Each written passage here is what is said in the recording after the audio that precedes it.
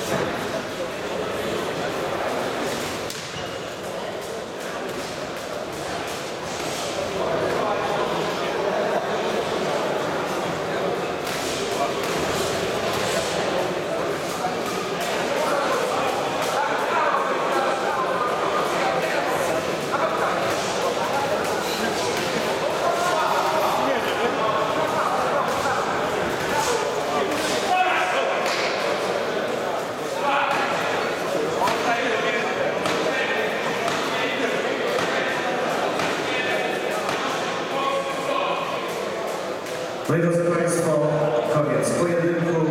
Przypomnę Wam, czyli Kasiusz Życiński, Kałusz Czerwony, Dawid Jarowski. Ja tylko Państwu powiedzieć, że Kasiusz Życiński, zawodnik Sako Gdańsk, ostatnio głosował w barwach polskiej Husarii w zawodowej lidze WSP przeciwko opcji Russia Team. I za chwilę oficjalny werdykt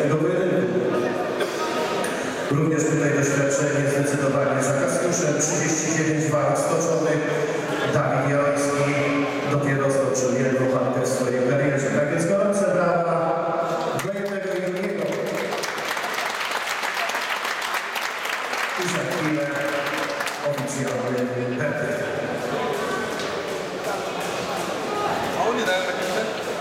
Przez PKO w pierwszej rundzie zwyciężył Kasiusz Życiński z Sak Gdańsk.